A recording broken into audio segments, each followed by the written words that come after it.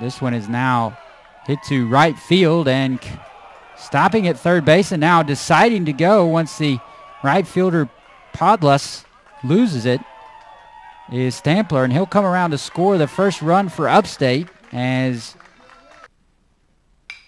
this one is kind of check swing, and it's going to bloop over the head of the second baseman Broughton, and that's going to be enough to score Tyler Lesh from third base and give Upstate a 2 to 0 lead now.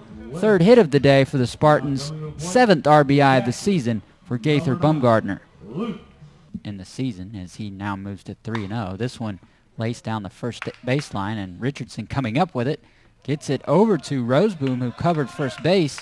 A nice job by the Spartans defensively there as Roseboom had to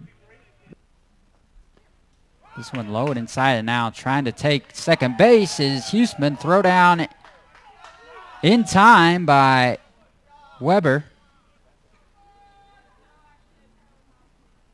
This one is hit pretty well to third base, but easily gloved by Stampler. Tough dig out of the dirt from Richardson, able to make the play. So a good play on Richardson's part to Asun Pole. And this one is laced down the right field line. Stampler is going to run for a while, and so will Lesh.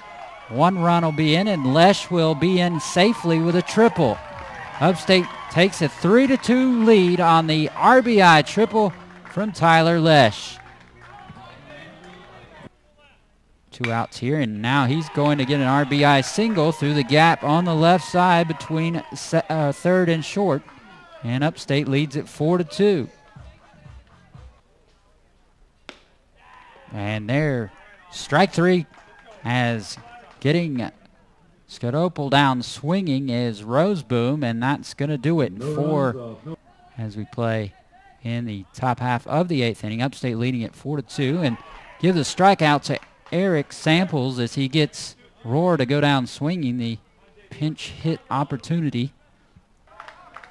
Here's the 2-2 pitch from Sabatka. Strike three.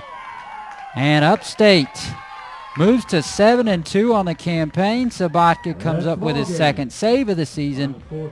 And Upstate is off to a pretty good start.